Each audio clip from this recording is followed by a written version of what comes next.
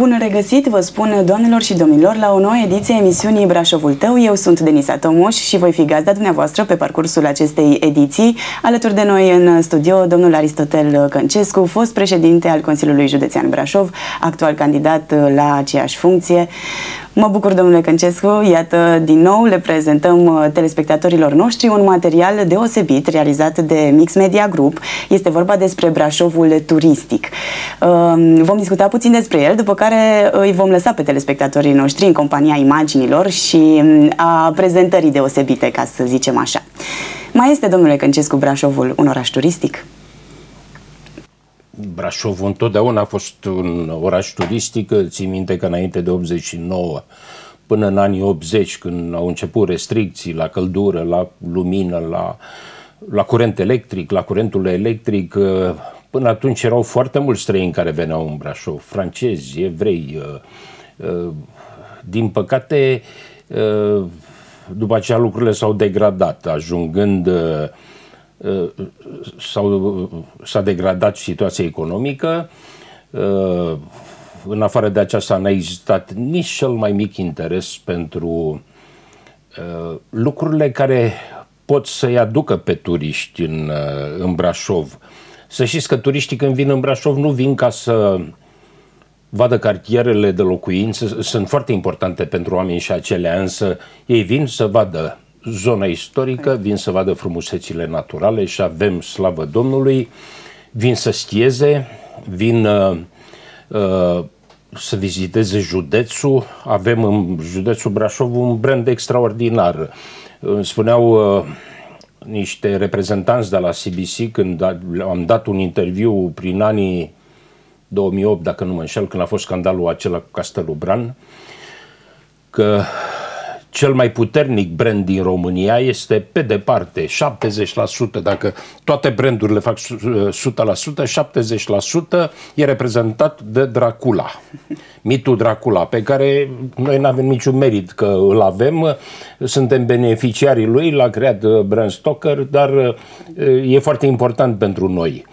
Nu l-am folosit ca lumea acum, până acum câțiva ani. În afară de aceasta, bun, tot la branduri, pe locurile următoare erau uh, Nadia Comănici pe locul 2 și deci asta până la 100%. Deci pe 30% erau Nadia Comănici, Ilie Năstase la egalitate cu Nicolae Ceaușescu. Uh, deci odată este Castelul Bran. Avem Castelul Râșnov pe care l-am renovat în uh, perioada anilor 2004-2008 uh, și a devenit un punct de atracție foarte important. E uh, acest uh, uh, cetatea Râșnovului, practic, da. uh, a mărit bugetul primăriei Râșnov de câteva ori. Și S-au creat... se află în reabilitare se află în reabilitare, au trecut o grămadă de ani de când a fost uh, reabilitată, uh, reabilitată de către noi. În primul rând vreau să vă spun că pe ideea liberală de descentralizare am dat această cetate, ținea de Consiliul Județean și am dat-o cu titlu gratuit comunității din Râșnov, care beneficiază acum din plin uh, de ea, tot timpul e plin acolo de turiști, la fel ca și la Castelul Bran. Au fost și alte cetăți care au fost renovate prin grija mea. Cetatea Feldioara și mă bucură că am făcut acest lucru. Acolo e un primar foarte bun la Feldioara care uh, știe să-și administreze foarte bine uh, comuna și a avut grijă ca să îi crească veniturile foarte mult. Și la și Făgăraș prin... ați investit în perioada aceea. Cetatea Făgărașului, uh, la, am avut o contribuție da. și la Cetatea Rupea, care e un exemplu de renovare. E, uh, și multe alte chestii, puncte turistice, inclusiv cel de care discutam, Brașovul, gen Hollywood, uh, pus pe tâmpa, uh, Cetatea Brașovului, în primul rând, cu ea trebuia să încep. Cetatea Brașovului s-au cheltuit foarte mulți bani din fonduri europene, uh, din bani de la UNESCO și din fonduri de la Consiliul Județean. Păi eu vreau să vă spun prima dată când am intrat prin anii 2002 într-o cetate, într-unul din turnuri, Brașov a avut 32 de turnuri, la ora actuală mare 8. Care încă Prim... sunt pasate cumva între Consiliul Județean și primărie, cumva încă nu se știe Dom'le, ce eu le-am lăsat la Consiliul Județean și îmi pare rău că își bat joc de ele. Mie îmi pare rău pentru că Consiliul Județean trebuia să le administreze. E foarte ușor să scapi, să te debarasezi așa și uh, practic eu nu știu cu ce se poate lăuda județul Brașov, Consiliul Județean Brașov. Cu un aeroport pe care, la care nu s-a întâmplat uh, aproape nimic, acum se grăbește și ei electoral ca să arate ceva că au ridicat câteva schele. Asta e egal cu zero. E, uh, deși aveau bani, eu nu am avut bani să termin investiția. Jumătate din investiție am făcut-o uh, am făcut-o până în anul 2014. Atunci am inaugurat pista. Uh, turnurile Brașovului, știți foarte bine cum arătau. Vreau să vă spun că la început în Consiliul Județean am avut scandal, că erau mulți și nu vreau să dau nume, că nu vreau să-i blamez așa pe TV în direct. Foarte mulți eh, ziceau că nu merită să le renovăm, mai bine să le demolăm. Eh, e vorba de eh, cetatea Brașovului care are peste 500 de ani. Era o crimă. Clădirile Consiliului Județean, toate le-am renovat. Regret că de 20 de ani nu s-a mai făcut nimic la clădirea CJ-ului, unde e și curtea de apel care am înțeles că pleacă. Uh, după aceea, uh, uh, toate monumentele, bisericile, foarte multe dintre ele sunt monumente istorice. Deci am avut grijă de toate aceste investiții, domeniul știabil pe care eu l-am început. Nu l-am terminat eu, că am avut grijă Boc ca să-mi ia această investiție. Era frică că e o investiție de imagine pentru mine și cum uh, a plecat guvernul Tăricianu și a venit guvernul Boc, la două săptămâni după mi-au luat banii din conturi. Puteam să blochez treaba asta, dar am zis nu era, puteam să-i țin în proces 2-3 ani de zile. Brașovul nu câștiga nimic din treaba asta. Și am renunțat din contră. Chiar am dat primărie inclusiv proiectul. Am dat cu titlul gratuit proiectul care a costat bani destul de mulți și studiu, studiu și proiectul. Uh, deci acestea sunt lucrurile care atrag turiști în uh, Brașov. Și totodată știți... ați realizat și aceste materiale care cumva uh, în acea perioadă reușeau să promoveze și să aducă chiar în toată țara. De ce nu în toată lumea până la urmă? Pentru că aveați uh, acele colaborări foarte bune și cu uh, Germania și uh, erau cumva promovate aceste filme pe care le tot prezentăm telespectatorilor noștri cam peste tot în acea perioadă. Bun, acesta e de asemenea un lucru foarte important. Uh, Uh, chestiunile acestea costă, într-adevăr, ca da. să promovezi pe plan extern. E o chestie destul de costisitoare, dar uh, rezultatele se pot vedea după. Am făcut trenul turistic. Locomotiva, uh, locomotiva, o locomotivă Pacific, plus vagoanele lui Carol al II-lea, l-am renovat, le-am renovat și am dat drumul la câteva curse între Uh, Brașov și Râșnov, uh, Brașov-Zărnești. Vroiam chiar să mergem spre, spre Bran de la Râșnov, pentru că brănenii și-au dorit dintotdeauna să aibă o gară și puteam să le facem aceasta, această gară, chiar dacă o făceam în primul rând cu scop turistic.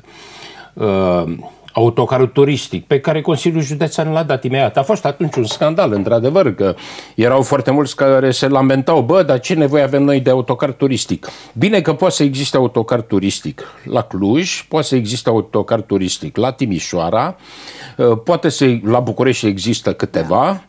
dar Brașovul nu trebuia să aibă un astfel de uh, autocar. Deci, uh, un lucru foarte important pe care vreau să vi-l spun e uh, că când am venit la conducerea Consiliului Județean, ca număr de turiști, Brașovul era cam pe locul 20 ceva.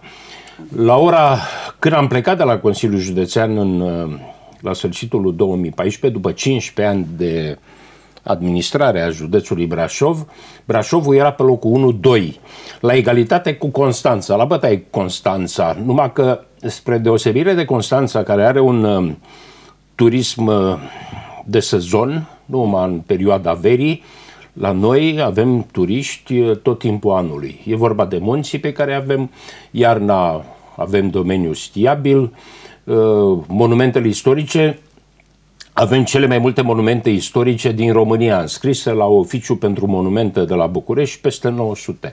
Suntem înaintea Sibiului, ceea ce nu e puțin lucru. Așa este. Așadar, invităm pe telespectatorii noștri să urmărească aceste imagini, Brașovul turistic, cel de altă dată, poate cu clădirile frumoase și uh, tot ceea ce înseamnă istoria locului de altă dată, pe data viitoare. Mm-hmm.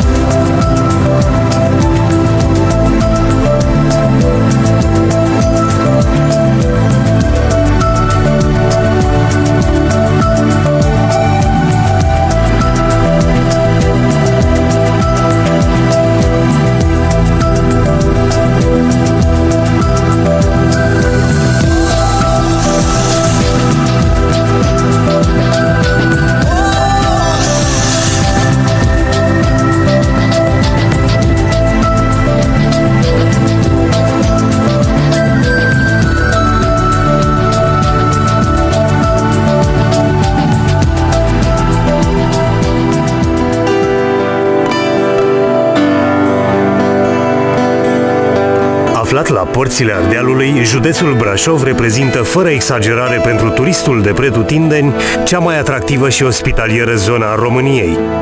Privilegiat prin poziția sa geografică din interiorul arcului carpatic, acest județ împletește armonios cele mai pitorești forme ale reliefului. Peisajul său se desfășoară de la vastele depresiuni ale țării Bârsei și ale Făgărașului până la cele mai impunătoare masive carpatice. De oriunde ar veni și oriunde s-ar duce, turistul iubitor de natură este atras de Brașov prin minunatele sale împrejurimi. Frumusețile geografice ale Brașovului se îmbină în mod uimitor cu istoria neamului românesc, ce atestă prezența umană pe aceste teritorii încă de acum 60.000 de ani. Conviețuirii daco-romane îi stau martore vestigiile antice ale castrului roman de la Râșnov.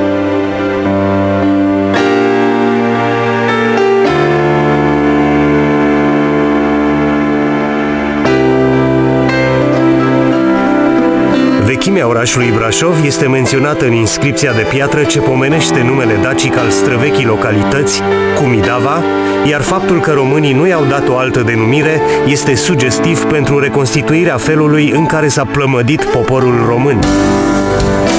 Devenit în epocă punte de legătură între țările românești, Valahia, Moldova și Transilvania, Brașovul era burgul unde bogățiile țării se aflau la adăpost, iar oamenii puteau negocia în voie, intersectându-și nu numai drumurile comerciale, dar și ideile culturale ale timpului. Se întemeiau în acea perioadă puternice bresle, a aurarilor, a țesătorilor sau armurierilor, bresle care dădeau faimă cetății ca înfloritor centru meșteșugăresc. Ca o consecință a acestui fapt, sunt ridicate rezistente ziduri de cetate și bastioane, turnuri exterioare de supraveghere și pază, depozite și piețe, ateliere și prăvălii, hanuri, dar și biserici și spitale.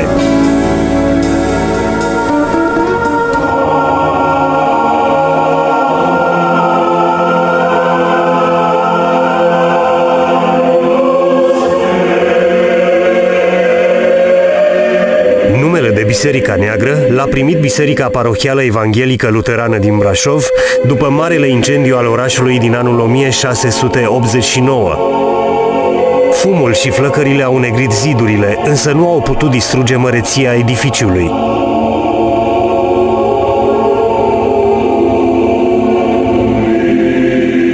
Biserica Neagră, cu o lungime de 89 de metri, este cel mai mare edificiu religios între Viena și Istanbul Construcția bisericii în stil gotic a început în anul 1383 în timpul parohului Thomas Sander și a durat până în anul 1477. Din cele două turnuri proiectate inițial la fațada vestică a bisericii, a fost ridicat numai turnul sudic, cu o înălțime de 65 de metri.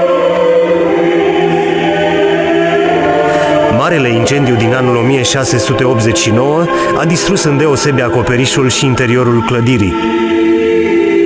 Renovarea a durat aproape 100 de ani, răstimp în care a fost ridicat acoperișul înalt de 20 de metri, în forma care se păstrează și astăzi. Ca urmare a renovării bisericii în secolul al XVIII-lea, interiorul și-a pierdut parțial aspectul gotic. Orga Bisericii Negre, una dintre cele mai mari din sud-estul Europei, este renumită pentru sonoritatea ei de o rară frumusețe. Cu circa 400 de tuburi, a fost construită între anii 1836-1839 de către constructorul de orgi Buchholz din Berlin.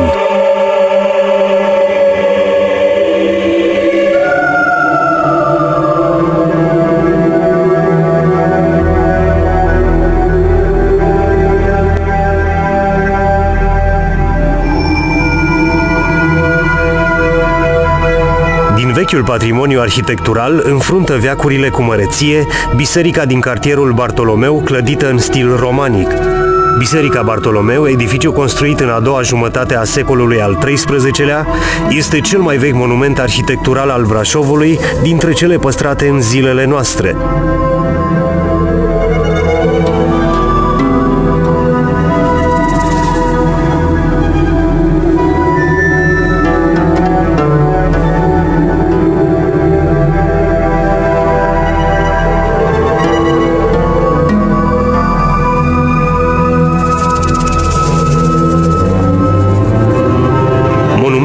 Romanic are ferestre în arc frânt și bolți pe ogive gotice. Turnul actual datează din anul 1842.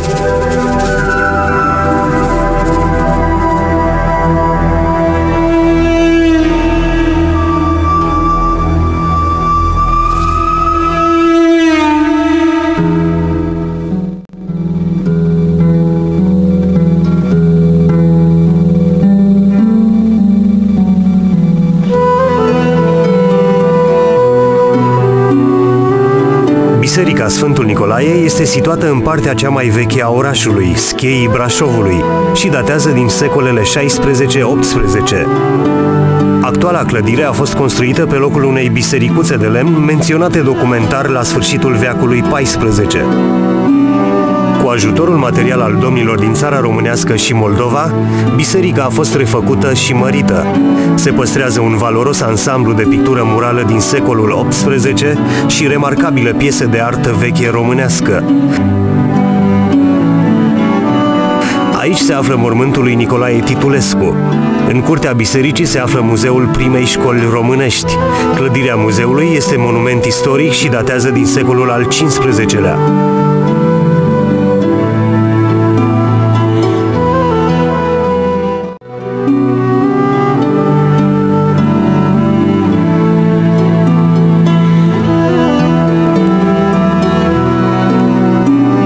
Casa Hirscher este o construcție în stilul renașterii înălțată între anii 1541-1547 de către Apolonia Hirscher, văduva cunoscutului jude al Brașovului. Aceasta ocupă primul loc între construcțiile civile ale Brașovului din veacul al XVI-lea, fiind alcătuită din două pavilioane separate de o curte interioară. Puternicul incendiu din anul 1689, precum și cel din 1699, afectează clădirea.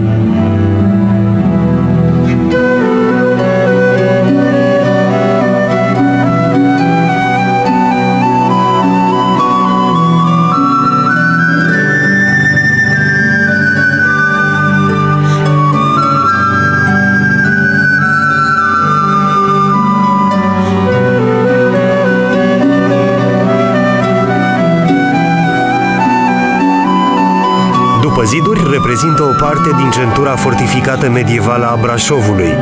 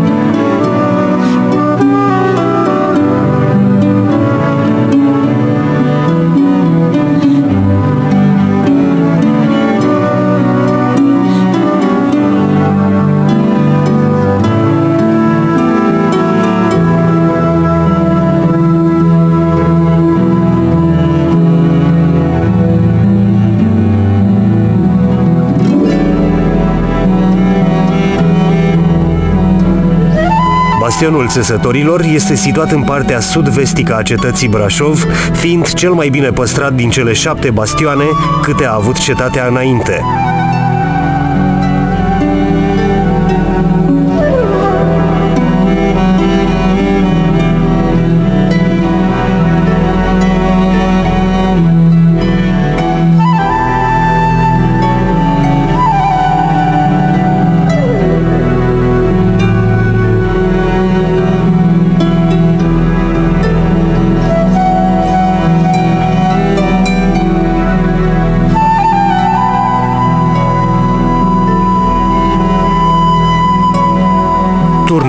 Turnul Alb este situat pe dealul Straja, la 59 de metri departare de zidurile cetății Brașov. A fost construit în anul 1494 de formă semicirculară închisă, prevăzută cu metereze și creneluri, iar în interior cu galerii.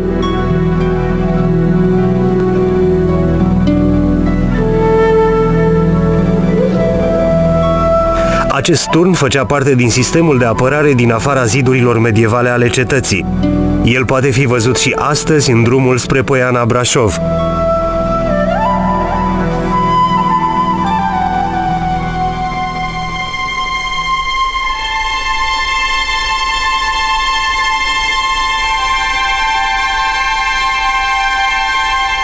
Turnul Negru este așezat pe o stâncă și a fost construit ca și Turnul Alb în 1494 pe dealul Straja, în dreptul bastionului Fierarilor. El dispune de trei galerii etajate cu trei rânduri de guri pentru atac și un sistem de legătură cu cetatea Brașovului.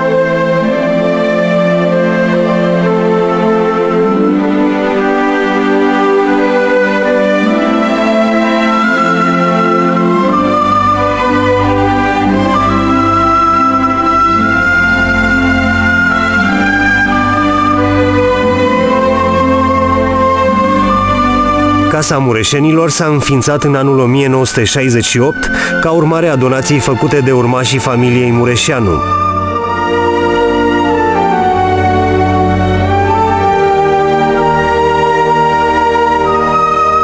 Muzeul este consacrat memoriei mai multor membri ai acestei familii cu mari merite în viața culturală și politică a vremilor.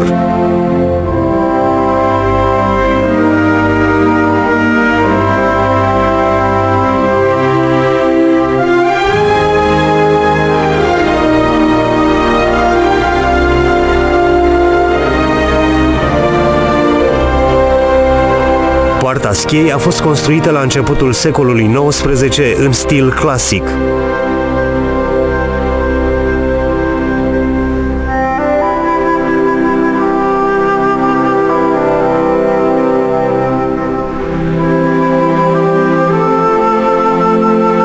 Poarta Ecaterinei, construită în 1559, este singura poartă medievală păstrată. Ea a fost apărată de breasla croitorilor. Se mai păstrează turnul cu cele patru turnulețe și stema orașului în stilul renașterii. A fost una din principalele căi de acces în cetate.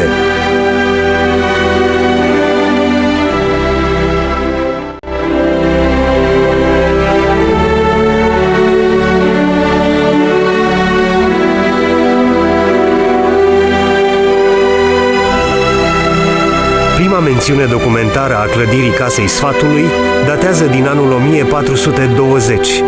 Din punct de vedere arhitectural, clădirea se caracterizează prin îmbinarea stilurilor gotic cu renascentist și baroc. A fost timp de mai multe secole sediul administrativ și judecătoresc al orașului. În prezent adăpostește Muzeul de Istorie al județului Brașov.